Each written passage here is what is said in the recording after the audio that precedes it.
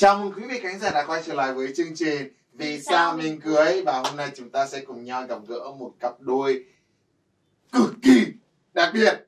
Xin mời.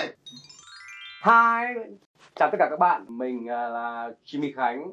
À, công việc của mình là diễn viên, người mẫu, ca sĩ và nhiếp ảnh gia. À, chiều cao của mình thì 1m49, cân nặng là 50kg.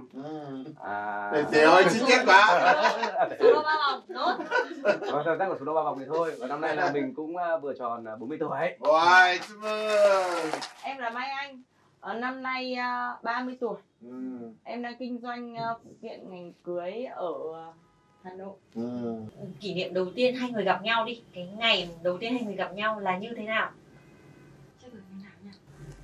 Nếu mà để nói ngày đầu tiên gặp nhau thì thực sự hai vợ chồng không thể nhớ được. vâng. Chỉ có nhớ được ngày cưới thôi. thế hai người đã quen nhau qua đâu ạ Ra là ngày xưa bọn em quen nhau qua blog 360. À. Rồi đến Yahoo thì có một thời gian làm bạn ở trên mạng rất rất là lâu. Xong bắt đầu gặp nhau thì gặp nhau không phải là gặp nhau hai người đâu mà đi cùng với cả một hội bạn bè các thứ ấy. Thực ra là lần nào cũng đi các bạn. cái thời 360 Blog 360 Đấy. là một thời nó rất là xa xôi rồi Em nhớ là cái hồi đấy là cái hồi mà em vẫn còn hay trốn học để ra quán net Ôi, Đúng rồi. à, Ôi vậy là hai người đã quen nhau từ rất là lâu rồi Đúng không ạ? Là tình đến nay đã phải được uh, Nếu mà để năm quen thì là Bọn 12 em năm. Cưới không 12 đã năm. Cưới đã 11 năm rồi. 11 năm rồi. Wow. cưới được 11 năm rồi. Vâng. Thì tính cả thời gian quen yêu nhau khoảng gần một năm nữa thì tính em học lớp 6 rồi anh ạ, lớp 6 ấy. Tức là hồi đó em mới có 19 tuổi Tầm đấy 18. 18 tuổi là đã kết hôn rồi. Ờ, hết hết 18 tuổi thì em mới kết hôn. Ôi, 18 tuổi Em 18 độ tuổi tuổi và nhau, chú à, và và và anh á. và anh Khánh lúc đó là 28 tuổi. Wow. wow. Ấn tượng đầu tiên với Ấn nhau. tượng đầu tiên với nhau chẳng hạn. Cho em trước hay là hay là anh trước? Ai trả lời trước cũng được. Để Vâng, cho anh, anh trả lời trước trả đi. lời trước đi.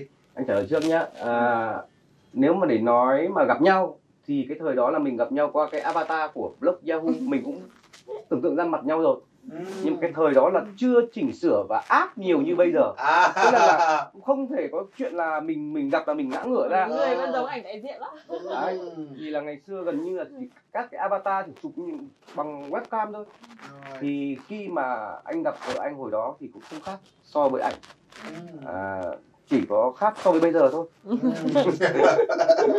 ngày xưa là là hồi hồi đấy là anh quen với anh là lúc ấy có 47 cân Ừ. thì bây giờ nó đảo một số. Rất khéo. Ôi, vợ anh giấu thì anh cũng sẽ nói luôn là bây giờ 74 cân Đó đấy là số đẹp của anh ạ. Ok. Vậy thì ờ, hai người bắt đầu nói chuyện vì sao?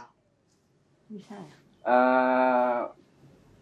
ngày trước anh có yêu ờ, một cô bé à, kém anh khoảng à, 15 tuổi Rồi. nhưng mà đấy là tình yêu online Ừ. thì cô bé đó là có đi du học bên nước ngoài Ừ. thì là ngày xưa là mình hay có cái trò là email cho nhau Ừ. rồi là ờ, chat với nhau Ừ. Đấy, thì, thì thì hồi đấy internet nó chưa phổ biến đâu Ừ. chỉ có ra hàng net để vào check mail đấy, mở mail hoặc là chat với nhau thôi, lúc lại về Thư điện tử bốt. đấy hồi đấy là chỉ thư điện tử thôi Ừ. thế là cái cái cái tình yêu đấy người ta gọi tình yêu bộ ship qua mạng thôi Ừ. thế là xong rồi à, cũng kéo dài được khoảng 3 4 tháng gì đấy thì là ờ, cũng có thể là do là tình yêu online cũng không gặp mặt nhau cũng chỉ là qua những cái email thôi cho nên là nó cũng không được sâu đậm. Thế là bọn anh tan rã dần tan rã dần. Thì đương nhiên là cái tình yêu online hồi đó thì mình có tan rã nhưng mà mình vẫn có một chút nuối tiếc. Ừ. thế thì cái hồi đó thì là vô tình thì vợ anh lúc ấy anh chỉ coi như là một người bạn một Ừ. người em gái.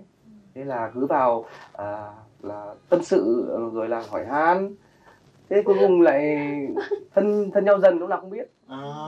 Đấy. Sau bao nhiêu lâu ờ, gặp online thì là hai người mới bắt đầu có những cuộc gặp thật ngoài đời. Lần đầu tiên. 4 năm tháng ấy nhỉ? Tầm đấy. à, 4 năm tháng ấy. cũng tầm đấy đấy Ừ. Ok. Vậy thì ấn tượng đầu tiên lúc mà gặp ngoài đời thì sao? Có bị cuốn hút không hay là? À không không không. Bị buồn cười ấy anh ạ. Ồ, vì sao? Tại vì em chưa bao giờ thấy một người thấp như thế này thật sự. ok. Còn anh Ừ, từ hồi ờ, xem Avatar thì chỉ có từ đây trở lên thôi. Ừ. Còn lại thì ờ, từ đây trở xuống thì không thấy chụp bao giờ. thì avatar là người ta chỉ lấy tự- bản thân thôi chứ Rồi. không ai là cả người thật sự là chưa bao giờ em gặp một người nhí nhố đến mức như thế Ừ. tức là trước cái khánh em có quen một vài bạn kể cả bạn bằng tuổi em cũng không thể nhí nhố được như thế này Ừ. ô rất là buồn cười luôn đấy chị ha. Thế em buồn cười là buồn cười vì ngoại hình của anh ấy hay là em buồn cười về cá tính của anh ấy? Thực ra ngoại hình buồn cười ít hơn cả tính dù nói chuyện với anh ấy không thấy buồn cười rồi. Chả giống ai cho đến giờ này vẫn cứ không giống ai. Wow hay quá. Thế thì đó có phải là là là là một trong những cái lý do mà khiến cho em thích anh ấy không? Có thể chị ạ. Bởi vì chị Ừ. thấy anh ấy rất là có duyên. Anh lạ. Ừm, hồi đầu thì anh chưa thích đâu. Ừ. vẫn chỉ là coi là bạn là em thôi thế nhưng mà thấy ờ, cô này cô ấy cứ quan tâm đến mình hỏi han mình. Nhà thì gần nhau. Ở nhà nhà anh thì ở phố Hoàng Than thì nhà vợ anh ở Trượng Xuân. Thì cách nhau khoảng một con phố thôi. Ừ.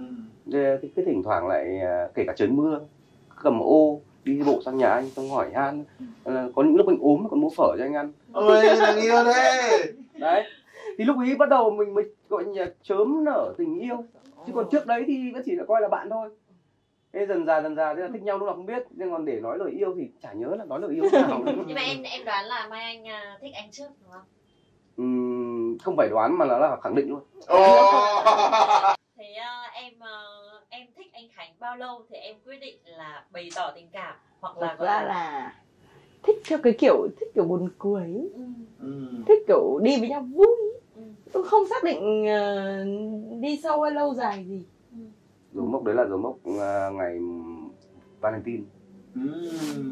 à, đợt đấy vợ anh còn đang đi học ở dưới ờ, Xuân Thủy cầu giấy cơ. Ừ. nhầm rồi tức rồi sai rồi khánh ơi hãy học ở hồng mai bạch mai mà không phải cầu giấy đâu. Này nhầm với cô nào đấy? Hay là rồi. hay là nhầm với giai không có đoạn thể nào? có thể anh nhầm trường thì vợ anh học mấy trường cơ. Thì có thể anh nhầm với bạn đấy. Còn anh vẫn nhớ như in cái dấu mốc là anh đi mua cái cái cái phong kẹo ấy, Ừ. và mấy quả bóng anh buộc vào sau cái xe đạp ấy. Xe đạp.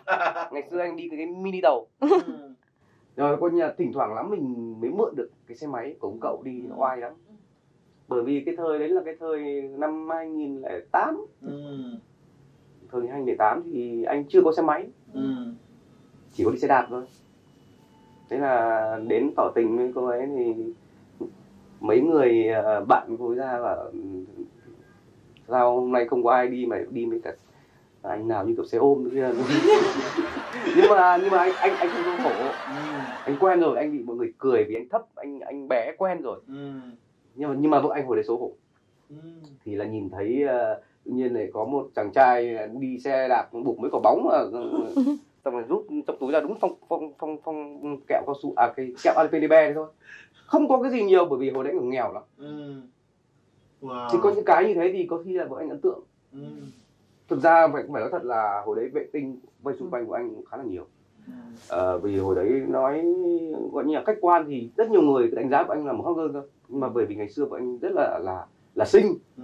và nhỏ nhắn mũm mĩm chứ không có tưng bừng như bây giờ đâu thế là cũng cũng có những người nếu mà để lên võ đài thì anh thua thẳng cẳng luôn bởi vì người ta to cao đẹp trai đi ô tô thứ không hiểu sao vợ anh đấy nhưng có thể là thích độc và lạ Ừ. Đấy. Ok. bây giờ chán lắm rồi đấy À. Sau khi hai, hai người đã biết là ok, chính thức là người yêu của nhau rồi. Vậy thì nụ hôn đầu tiên Ô, cái đấy thì không nhớ này cái này cái này nhớ nó xảy ra như cái thế này anh nhớ nào? đúng không Nó xảy ra ở đâu và tình huống đấy như thế nào? nó xảy ra ở một quán cà phê trên ờ, phố Tuệ Tĩnh Ui, còn nhớ cả tên phố luôn. nhưng mà cái quán cà phê đấy thì Đóng giờ rồi. là đóng rồi Rồi. cái tên quán thì anh cũng không nhớ lắm nhưng mà cái view quán là toàn bộ màu xanh lá cây thôi Ừ. và bọn anh lên tầng 2 lúc ấy là vợ anh mới đi học về Ừ. thế là rủ nhau đi ăn bún ốc thế là xong rồi à, tình đi yêu chỉ có ăn kem uống thôi bên kem thì gọi là thế thôi thì lên trên quán cà phê có cà phê có cả kem thế lên trên đấy thế là ngồi cứ hỏi han tâm sự. Thế là lừa lừa vợ nhắm mắt vào là hình như có mụn đây này Nên nhắm mắt vào để anh nặn cho thế là anh hôn. À, anh cái nụ hôn đấy là nụ hôn chấp nhoáng kiểu chụt một cái hay Đúng là rồi. một nụ hôn sâu? À, chớp nhoáng thôi bởi vì mình hôn trộm mà làm sao mình sâu được. À, thì vợ anh ấy cũng bất ngờ. Thế nhưng mà cuối cùng thì nàng vẫn đón nhận. Thì bao nhiêu lâu sau đó mới có cái chuyện là Ờ. trong tối trong tối đấy thì rất là như này gia đình em với cả gia đình anh Khánh ấy thì mọi người rất là welcome ở cái Ừ hừ. là ví dụ có bạn nào thích thì có thể dẫn về nhà Ừm. thì bố mẹ đến với nhà ăn cơm như bạn bè bình thường bố mẹ biết là à con mình đang quen bạn là bạn kia thì ờ, đến năm đấy là tết thì nhà anh khánh đã sang nói chuyện với gia đình nhà em rồi. Ừ. là các các mẹ các bà đã dẫn nhau đi xem ngày rồi. Ừm. để sau khi xem ngày ấn định là đến tháng 11 thì sẽ cưới. Thì cố đặt bảng các thứ nọ kia. Xong sau cái đoạn đấy thì mới phát sinh cái đoạn trong tối. À, tức là rất là cẩn thận và Phải cẩn thận và chờ đợi đúng thì không? em chỉ có cưới sớm trước hơn dự định có mấy tháng thôi. Ừ. Nhưng mà mọi, mọi người có biết là vì sao anh nói chuyện đến giờ chỉ có vợ anh sang bên nhà anh mà anh không sang nhà bên nhà vợ? Cũng tò mò bởi vì thực ra hồi đấy là anh bị cấm. Ôi. Tức là là- tức là nhà mai anh cấm anh. May anh thì là vẫn có tình yêu dành cho anh vẫn thích anh. Nhưng mà bên nhà mai anh thì không đồng ý bởi vì người ta bảo tại sao những thằng kia nó to Ừ. cao đẹp trai nhà giàu mà không yêu đúng rồi em cứ yêu nghiêm túc em nào là em sẽ dẫn về nhà để hỏi ý kiến gia đình. Ở đây yêu anh nào anh anh anh anh anh Khánh có phải là người đầu tiên của em không? Không trước đấy thì có một hai anh nữa nhưng mà tất cả các anh ấy thì gia đình đều welcome. À, ừ, nhưng mà cuối cùng thì em lại không welcome đúng không? Chẳng tiền xấu thế nào? Tại vì như gia đình nhà em ấy thì đến nhà ăn cơm rất là thường. Ừm. đến nhà ăn cơm như con trong nhà đi về quê dỗ thì cũng đi về cùng. Ừ. Đi chơi đi trước thì cũng vào nhà xin phép bố mẹ là "À, hôm nay hôm nay anh đi chơi với cháu giờ này ra đi tiếp cháu về. Bố mẹ em rất là thoải mái và rất là tôn trọng con cái trong cái vấn đề đấy đấy có mỗi cái khoản này là bị cấm này. Anh ơi thế khi mà bị cấm thì anh có cảm thấy buồn cảm thấy tủi thân không? Có chứ. Vâng. nhưng mà anh phải tìm mọi cách để anh giải giải thoát cái cái vòng của nhà mình bị ngăn cản đó. Vòng vây thì ờ, sau một thời gian nữa thì biết là ngăn cản anh không được thì mới tống cô vợ anh về quê để cho hai người giãn cách ra. Để anh quên đi. Thế nhưng mà anh vẫn máu đi xe đạp tại vì hồi đấy là vợ anh bị nhốt gọi như là nhốt nhốt nhốt lên giam lỏng ấy, Ừm. và tích tận trên cổ nhuế cơ. Mà anh đi xe đạp như thế thì mỗi một lần như thế mười mấy cây một lượt cả đi cả về phải ba mươi cây. Nhưng anh vẫn đi anh vẫn máu. Thực ra đến lúc mà anh xuống đấy thì hai vợ chồng gặp nhau rất là vui. Như kiểu là là lâu ngày không gặp ấy. Một tuần anh cứ xuống đều đều khoảng hai lần. Bắt nhau để uống cốc trà xong sữa. rồi ra uống trà sữa đi uống cà phê nước mía nước- cái gì đó rất là đơn giản thế. Thế nhanh nhanh chóng nhanh nhanh chóng chóng anh lại đi về. Wow. Thế thì và cái điều đấy và cái điều đấy thì cuối cùng là có làm lay động được ờ, gia đình của mai anh không? Thật ra là gia đình của em thì từ khi mẹ khánh cả bố em cũng ok. Bố em thấy là gia đình cũng hiền lành. Tử tế thương các con các thứ. Xong mẹ em dần dần tiếp xúc nhiều là mẹ em bây giờ là bị đứng về phe con rể cái gì chỉ con rể thôi điều gì đã khiến anh anh hai hai hai người quyết định là đến lúc sẽ cưới? Bởi vì lúc đó là mai anh vẫn còn rất là trẻ Đúng mới, rồi. mới còn chưa đầy 20 tuổi. À, cái này thì chắc là phải hỏi bác sĩ. À, tại vì bọn anh à, bị lỡ. À, vì nếu như mà không bị lỡ thì bọn anh vẫn xác định là sang năm là cưới. Thế nhưng mà bị lỡ rồi cho nên là đành phải cưới và lúc ấy Sớm là lên. À, vợ anh à, đã mang bầu em bé đầu tiên là được hai tháng rồi Ừm. cái bầu em bé đầu tiên đấy vợ anh không biết có nghĩa là vợ anh bảo tự nhiên cứ thấy đau bụng như kiểu bị đau dạ dày Ừm. thì anh còn đưa vợ anh đi vào viện và mua thuốc dạ dày uống nhưng mà rất may là không làm sao Ừm. chứ không thì là, là coi như là em bé đầu tiên là không có đâu Ừm. thế thì sau đám cưới thì có cái gì khiến cho ờm, cả hai người thay đổi hay không? Và cái cái cái vấn đề thứ hai đó là um, trong cái khoảng thời gian mang bầu đó thì có những cái khó khăn gì? Thì hai người có thể chia sẻ với bọn em được không? Sau đám cưới thì có nghĩa là người sai lầm nhìn với vợ anh nhiều hơn là anh đấy.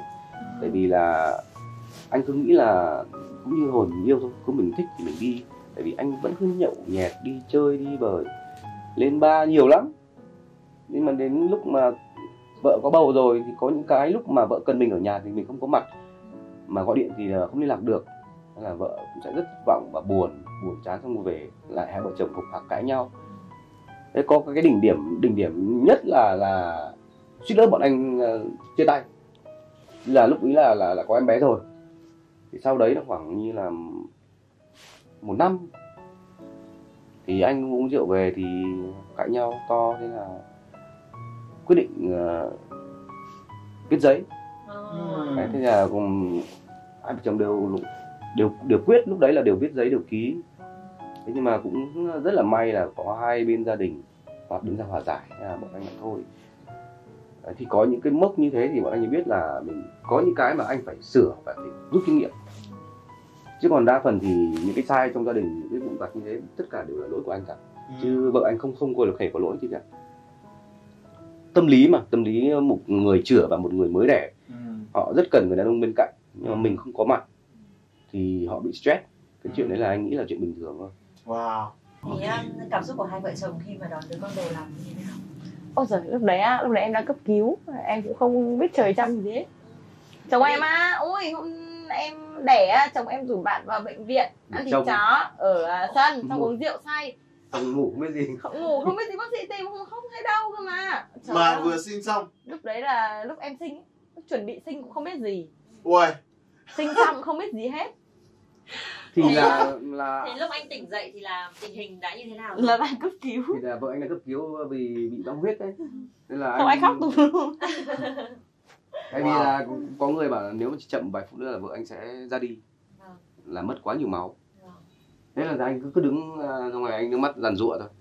À, là lúc ấy mình tự trách bản thân mình là cái ý định của mình thì tốt muốn rủ bạn bè vào để ngồi để, để chung đón đón cái niềm vui với mình. Trong lúc chờ vợ hạ sinh thế nhưng mà uống quá chén là ngủ không biết. Vậy à, hãy kể cho em nghe về lần sinh đầu thứ hai. Tức là nó nó có suôn sẻ hơn không và Không anh có được đón cũng cũng không cũng khó như cô ấy thứ nhất. Khó hơn. Ui, tại vì là ờ, như bọn em kế hoạch ấy là có bầu nhưng mà chờ mãi không thấy có bầu. Thế là nghĩ lại thương chị lớn lại cho chị đi du lịch em đi du lịch đi sài gòn đi nha trang đi đà lạt các thứ. Nói chung là em phải đi tầm 20 hôm. Thế là trong thời gian đấy có bầu một tuần cũng không biết là em đi máy bay rất là nhiều.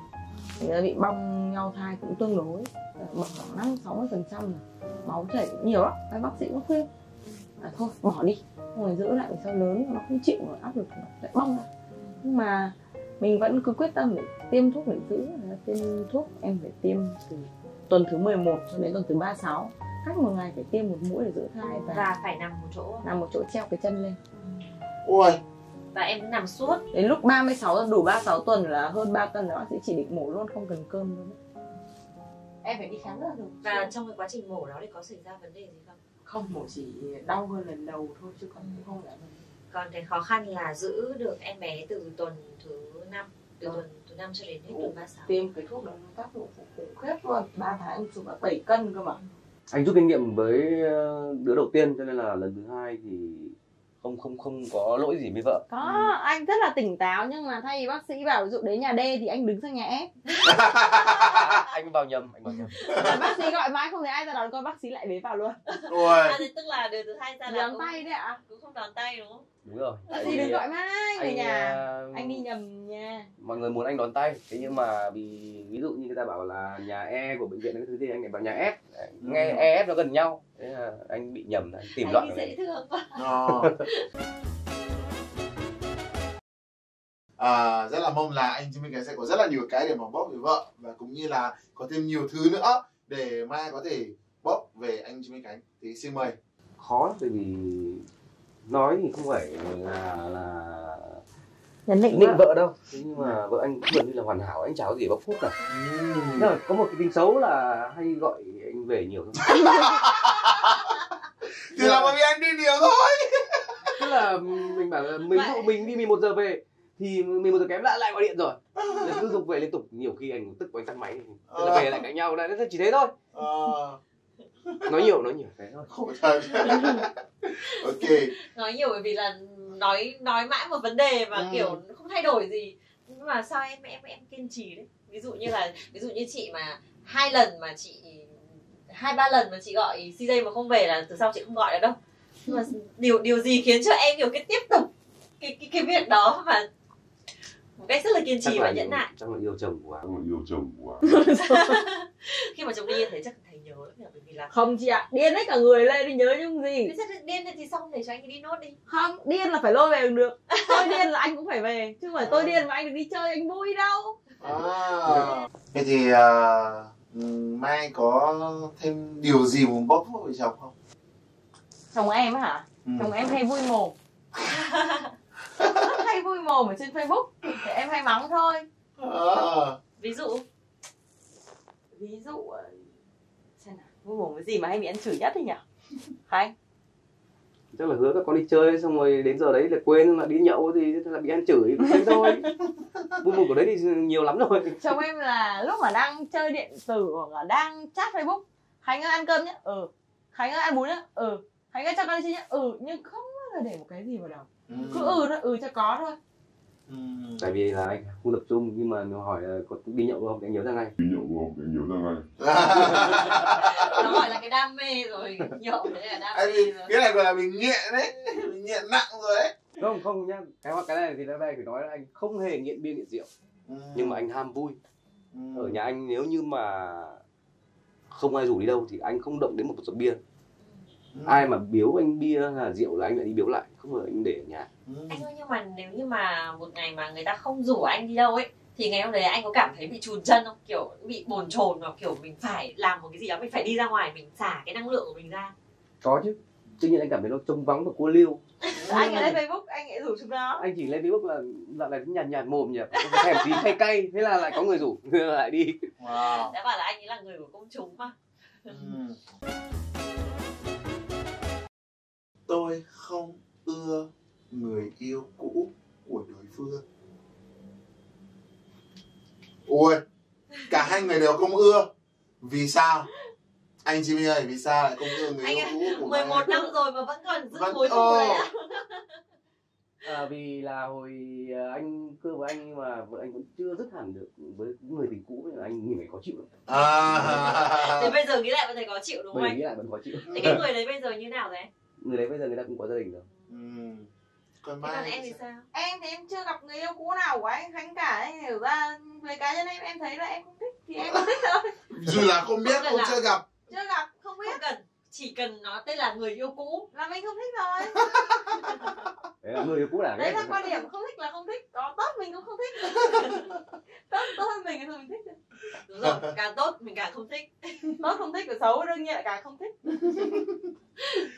thôi, hai vợ chồng chung quan điểm như thế Rồi, là ok, là ok rồi. rồi. Câu hỏi thứ hai nhá Tôi đã từng mất hứng trong chuyện chăn gối với đối phương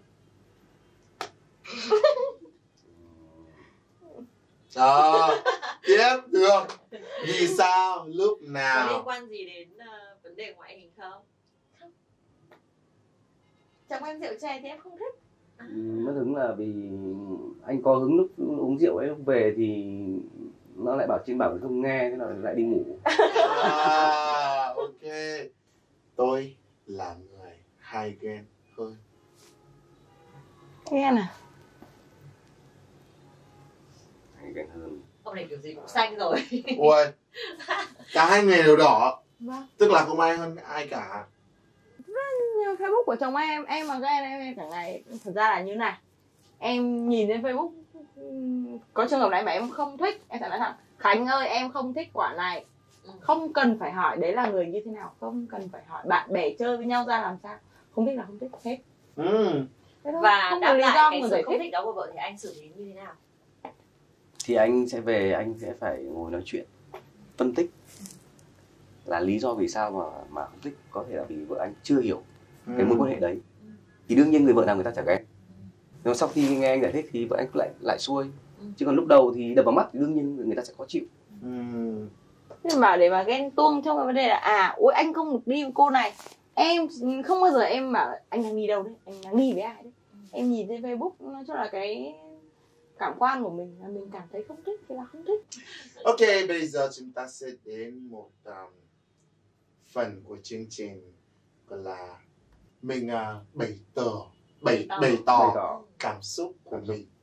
vợ ơi có những điều anh à, không thể nói được khi mà chúng ta ở bên cạnh nhau thì ngày hôm nay ở đây anh sẽ nói anh yêu vợ rất và các con rất nhiều. À.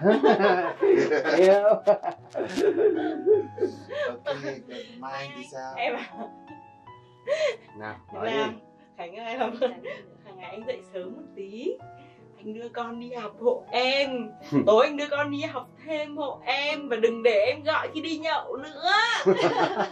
Em thấy các bà vợ rất là lợi dụng chương trình này để căn dặn một kiểu đe cô dọa nghiện thật đấy. Ơ nhưng mà lợi nói qua thì phải nói lại. Chồng em là năm nay con gái lớn đã học lớp 6 rồi. Ừ. nhưng không biết con học lớp nào. Cô giáo tên là gì không biết con học thêm ở những chỗ nào một tháng bao nhiêu tiền học là không biết một cái gì hết. Wow. Cái đấy là cái cần bổ sung gấp vào đầu. Xin cảm ơn quý vị khán giả đã theo dõi chương trình ngày hôm nay. Và chúng ta sẽ gặp nhau vào số tiếp theo. CJ và Obi xin cảm ơn và hẹn gặp lại. bye bye, bye bye